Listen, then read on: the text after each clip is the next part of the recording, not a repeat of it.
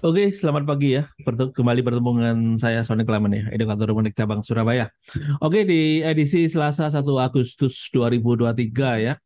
Uh, di awal bulan Agustus ya, ini ini berhubungan dengan bulan kemerdekaan Indonesia ya. Salam merdeka tentunya ya. Dan kita juga berharap merdeka untuk bebas dari AutoCAD, bebas dari kerugian ya gitu kita harapkan itu. Sehingga kita sehingga kita bisa mendapatkan akumulasi ya dari uh, keuntungan yang konsisten ya. Itu yang kita harapkan tentunya. Dan harapan saya di bulan Agustus ini tetap semangat tambah bersemangat ya untuk mencari peluang-peluang kembali ya. Uh, untuk di bulan Agustus ini semoga bisa lebih maksimal lagi tentunya. Dan jangan lupa untuk stay tune terus di channel kita Monex Surabaya karena di sini ada acara yang namanya Morning Market Watch ya, acara yang kita persembahkan setiap hari, setiap pagi.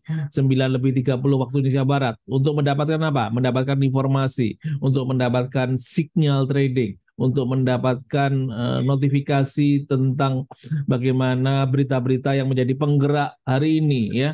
Dan tentunya uh, bagi yang belum mendapatkan analisa-analisa ya, silakan cek di channel kita Monek Surabaya. Oke, uh, tentunya jangan lupa untuk memberikan dukungan ya kepada kita untuk kita makin berkembang, makin bermanfaat bagi teman-teman, sobat-sobat trader di mana pun anda berada ya. Semoga konten-konten yang kita berikan ini bisa bermanfaat dan bisa menjadikan inspirasi ya, menghasilkan motivasi menghasilkan sesuatu yang lebih baik lagi ya. Itu harapan saya. Dan jangan lupa untuk share dan uh, like komen ya. Eh, konten-konten yang ada di channel Monek Surabaya ya. Sebagai channel edukasi investasi ya. Oke kita awali seperti biasa di pagi hari ini ya. Dengan melihat kira-kira nih strategi apa yang tertinggal nih? Oke, nah, di sini kita lihat ada uh, sinyal untuk martingale nih ya. Jadi strategi martingale ini adalah uh, kalau kita ngomong tentang uh, kalau seperti obat itu dosisnya ya ini uh, kita sudah gunakan kemarin uh, averaging ya dan cukup sukses ya tahun ini. Jadi teman-teman yang mengikuti sinyal-sinyal uh, pagi kita tahun ini ya uh, kita udah lakukan beberapa kali dengan strategi averaging dan sukses ya. Uh, kita masuk di dalam indeks saham Nikkei dan Hang ya. Oke, okay, uh, di sini kita, saya akan coba memaksimalkan strategi selanjutnya yaitu adalah martingale ya. Martingale ini memiliki peluang-peluang uh, yang lebih besar dibandingkan dengan averaging, tetapi ingat resikonya juga makin besar ya. Setelah kita sukses di level averaging, kita coba di martingale ya teman-teman. Jadi apa yang kita berikan ini bersifat referensi ya teman-teman semua. Jadi kalau misalnya ada peluang profit ataupun risk risiko eh, jangan lupa ini juga menjadi tanggung jawab penuh bagi teman-teman semua ya karena apa yang kita berikan ini bersifat referensi apa yang kita berikan ini ada peluang dan risiko yang sama besar ya. Ini yang perlu. Oke, kita awali pagi hari ini ada sinyal apa nih ya untuk pagi hari ini? Seperti biasa saya juga disupport oleh aplikasi yang luar biasa ya yang namanya IMFX ya. Uh, aplikasi yang hanya dimiliki oleh PT Monex Invisible Future ya. Aplikasi ini uh, sangat besar manfaatnya, sangat besar fitur banyak fiturnya ya. Teman-teman uh, salah satunya adalah mendapatkan sinyal-sinyal yang update ya. Uh, baik di pagi hari, siang hari maupun di malam hari ya. Oke, yang pertama saya dapatkan sinyal di pasangan dolar yen ya di pukul 9 lebih 08 dari sumbernya Auto Chartis ya. Kita cek dulu penggunanya sangat mudah sekali ya. Di sini disarankan untuk potensi beli ya. Sekarang ada di 142.64 ya. 142.64, target 143.47. Kemudian untuk stop loss di 142.26. Oke, saya rasa cukup worth it masih kita bisa manfaatkan sinyal ini. Kemudian kita lihat juga uh, trendline juga naik ya, mendukung, stokastik juga mendukung ya. Saya rasa mengkonfirmasi ya sinyal ini dan kita bisa manfaatkan. Yang pertama adalah kita gunakan money manajemennya jangan lupa ya. Eh, saya akan gunakan 10% dari equity ya. Jadi saya akan gunakan 0,7 nih ya. 0,7 ya. Potensi beli ya. Potensi beli kemudian kita pasang pemasangan take profit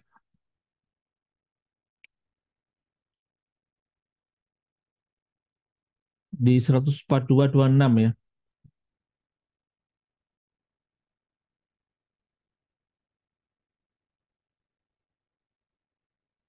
Kemudian untuk sorry, take profit 14347 ya. Nah.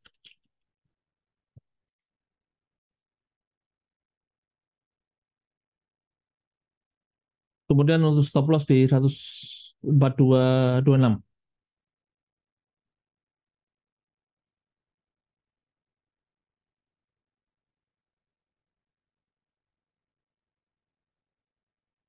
Oke, sudah semudah itu ya tentunya. Kemudian kita lihat di commodity gold ini kira-kira peluang untuk pagi hari ini ya.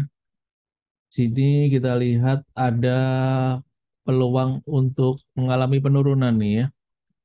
Penurunan, oke. Okay. Ini cukup di tengah ini sebenarnya ya. Saya juga tidak dapat sinyal di MIFIC nih untuk Oke, kita lihat di sini untuk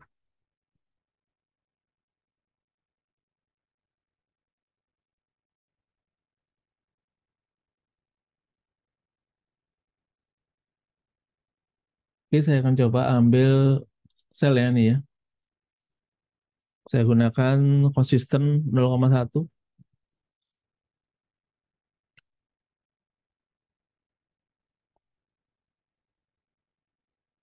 ya saya gunakan satu banding tiga ya ini ya saya coba ini karena di area tengah sebenarnya ini ya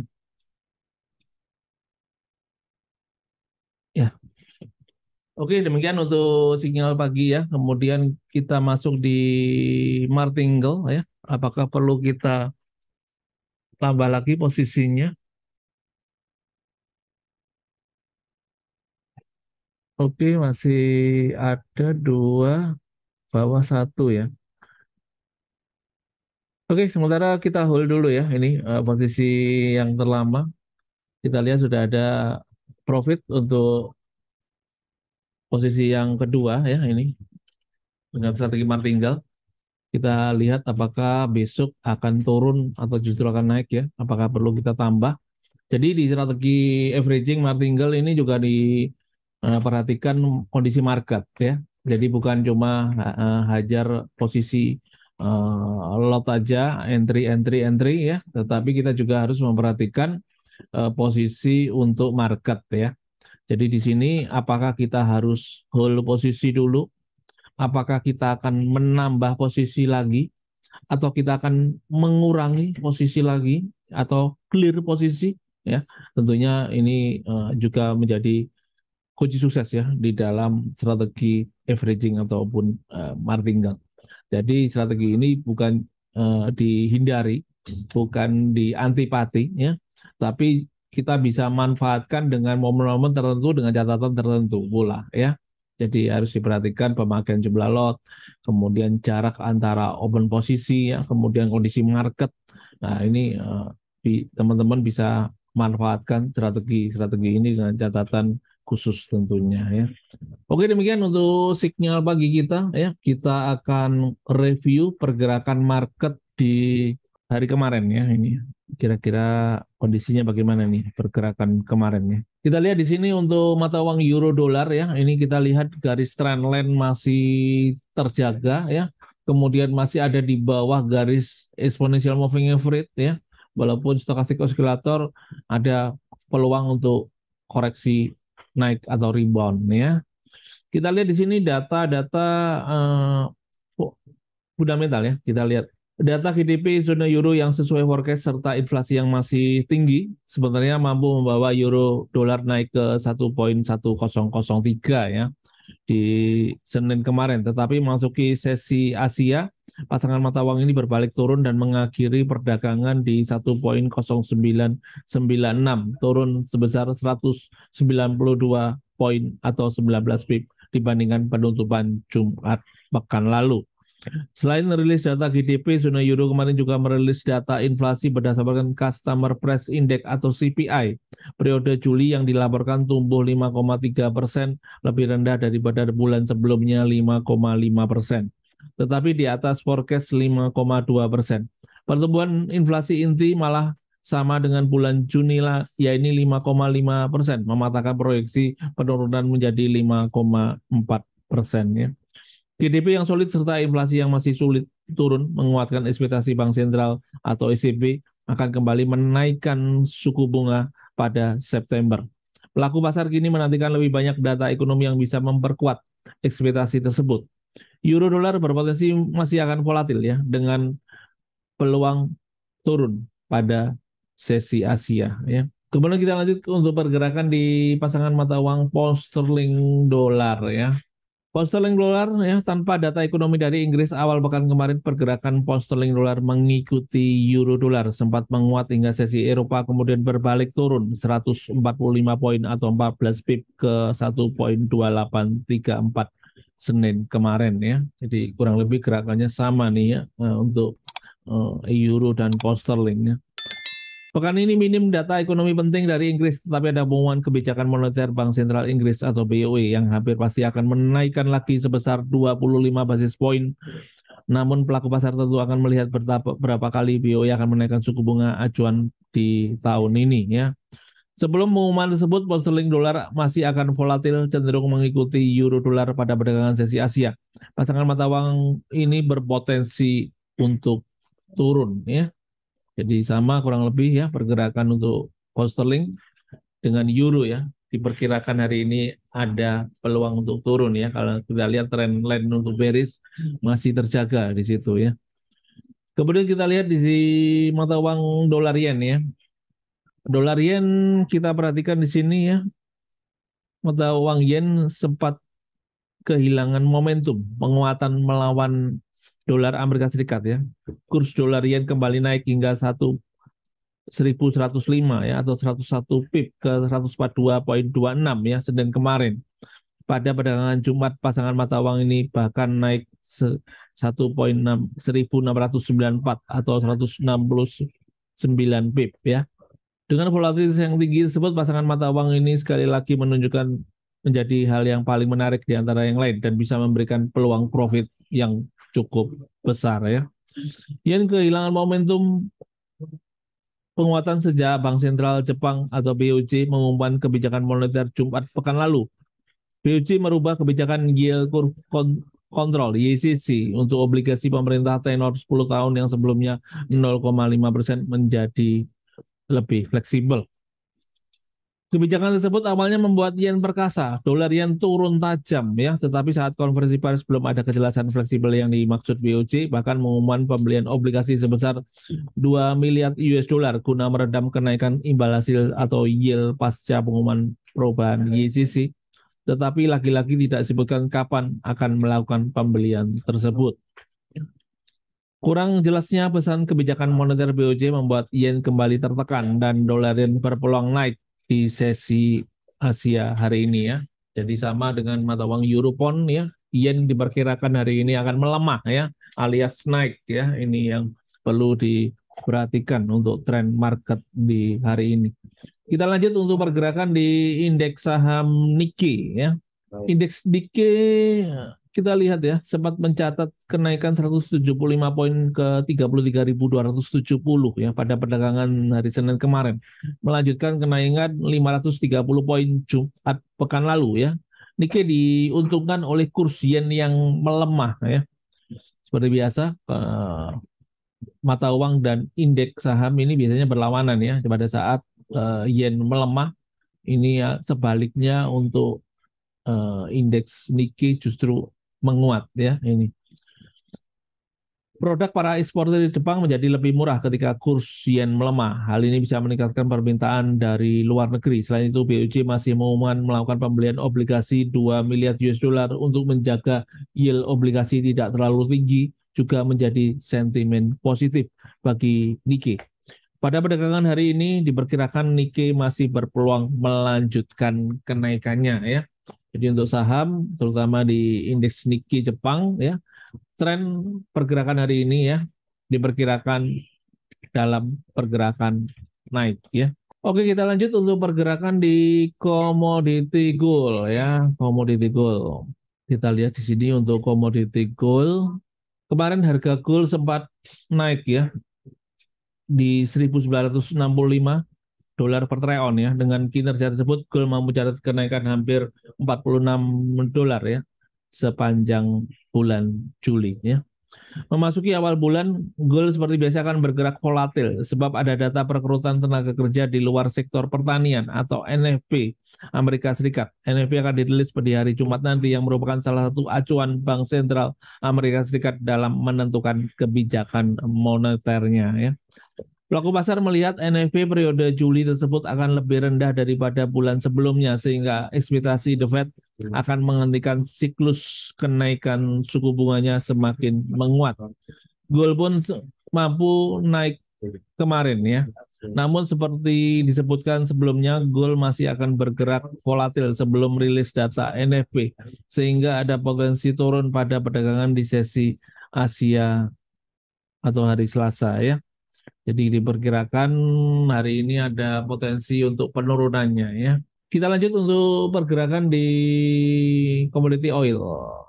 Untuk oil kita lihat tren uh, land bullish ya. Ini juga masih terjaga di oil ya.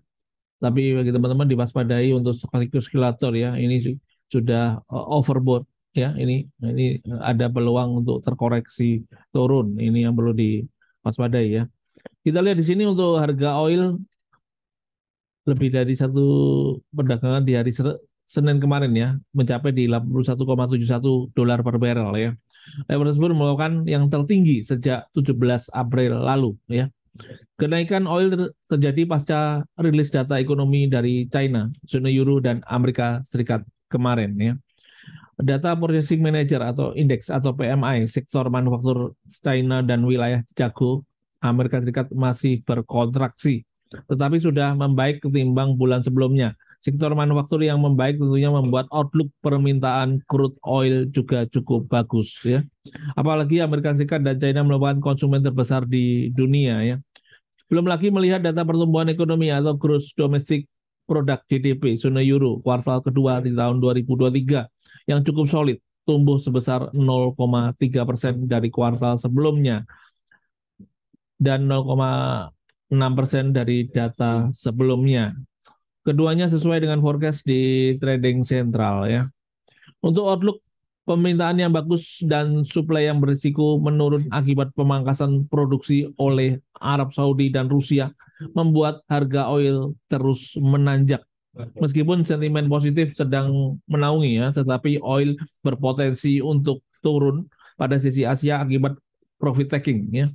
Apalagi ada rilis data PMI manufaktur China versi Caixin yang diproyeksi sebesar 50,1 persen pada Juli, lebih rendah daripada sebelumnya 50,5. Data ini dirilis di pukul 8 lebih 45 waktu Indonesia Barat ya. Jadi walaupun uh, trennya naik ya, ini perlu diwaspadai adanya uh, profit taking ya bagi teman-teman untuk di oil ya. Walaupun masih trennya kita lihat masih terjaga untuk kenaikannya, tapi ada kemungkinan untuk profit taking dan terjadi koreksi turun. Ini yang perlu diwaspadai dan kita bisa lihat dari indikator stokastik osilator ya. Ini juga menunjukkan adanya potensi untuk koreksi turun ya. Oke demikian untuk uh, review atau makro overview ya untuk uh, sesi Asia pagi hari ini ya. Kemudian kita lanjut untuk news berita ya. Berita apa saja yang menjadi penggerak untuk pagi hari ini ya. Oke, 1 Agustus ya di hari Selasa ya. Kira-kira berita-berita apa saja yang menjadi Di pukul 11.30 ada RBI interest rate decision ya. Ini dari Australia ya. Untuk mata uang Aussie, teman-teman yang trading di mata uang Aussie diwaspadai ya. Ada uh, pengumuman suku bunga ya ini yang sebelumnya 4,1 persen ya. Apakah ada kenaikan atau tetap ya? Ini, ini yang perlu diwaspadai. Di pukul 11.30 waktu Indonesia Barat. Kemudian di Amerika ya malam hari ada laporan JOLTS job opening ya ini mengalami kenaikan dan ISM manufaktur PMI ya ini 46,0 naik 46,4 ya. Jadi ada dua berita penting nanti malam ya. Ini yang perlu diwaspadai pukul 21.00 ya. Jadi bagi teman-teman yang trading untuk mata uang dolar Amerika Serikat dan komoditi gold ya, ini diwaspadai di pukul 21.00 waktu Indonesia Barat ya.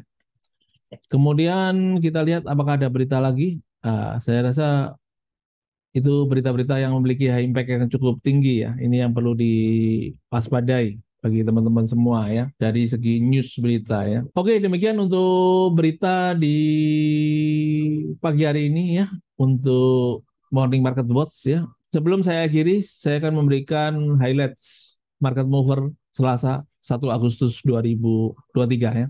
Yang pertama adalah harga gold berpeluang bergerak turun dalam jangka pendek di tengah pasar yang masih mempertimbangkan hasil survei The Fed yang menunjukkan bank-bank Amerika Serikat melaporkan standar kredit yang lebih ketat dan permintaan pinjaman yang lemah selama kuartal kedua, serta kembali memanasnya ketegangan Amerika Serikat dan China setelah Kementerian Perdagangan China mengumumkan langkah-langkah untuk membatasi ekspor beberapa drone mulai 1 September. Selanjutnya pada hari ini pasar akan mencari penggerak dari data ekonomi Amerika Serikat seperti ISM Manufacture PMI, JOLTS Job Opening, dan ISM Manufacture Price yang dirilis bersamaan pukul 21.00 waktu Indonesia Barat serta pidato Presiden The Fed Chicago yang dijadwalkan pukul 21.00 waktu Indonesia Barat. Kemudian harga oil diperkirakan berpotensi bergerak turun ya dalam jangka pendek di tengah outlook menguatnya dolar Amerika Serikat. Namun penurunan dapat terbatas jika pasar masih mempertimbangkan mengetatnya supply di balik rencana pemangkasan produksi oleh Rusia dan Arab Saudi ya. Kemudian untuk euro dolar diperkirakan berpeluang turun dalam jangka pendek di tengah outlook menguatnya dolar Amerika Serikat.